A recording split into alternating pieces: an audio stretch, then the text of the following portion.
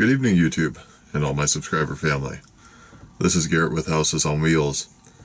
And first off, I want to apologize for my absence of videos over the last few weeks. Uh, it's been a very hectic period of time.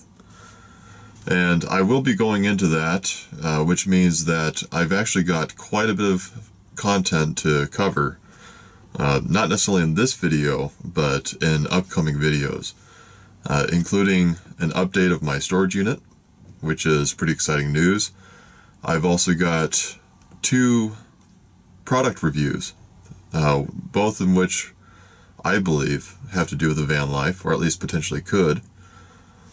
And also, um, unfortunately, I lost a, a very close friend and brother in Christ, and I do plan on uh, having a few words, if you will, uh, coming up. I just found out about it yesterday, unfortunately.